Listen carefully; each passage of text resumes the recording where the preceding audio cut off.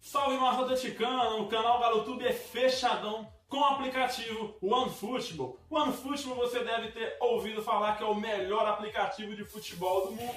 Você vai seguir o Galão da Massa, você vai seguir o Brasil se o Brasil for a sua seleção favorita. Tem todos os times aí do Brasil, América do Sul, Europa, seleções de diversos países aí para você estar acompanhando melhores momentos, gols, estatísticas, mercado da bola, notícias e eu vou estar te ensinando a mexer nesse aplicativo agora.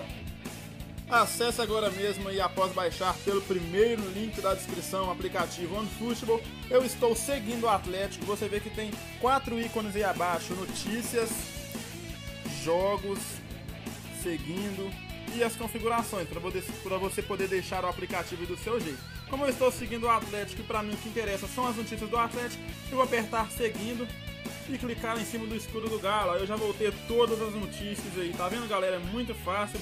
Baixa agora mesmo aí. Além disso também, você pode estar tá clicando aqui em temporada e aqui nessa setinha você vê quais as competições que o seu time está participando com tabelas. É, também tem no aplicativo melhores momentos quando tem jogo, estatísticas, gols. Você pode acompanhar o elenco do seu time aí. Enfim, galera, um aplicativo muito completo aí. Então acesse agora mesmo o primeiro link da descrição e baixe o melhor aplicativo de futebol do mundo. Valeu!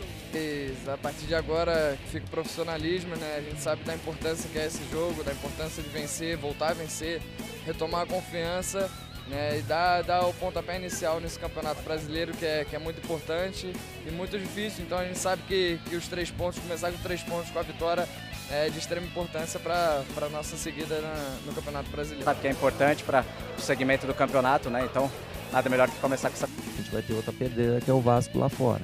A gente tem que crescer dentro da competição. Tem que crescer dentro da competição, corrigindo dentro da competição, principalmente com os nossos erros. Falhamos aqui bem.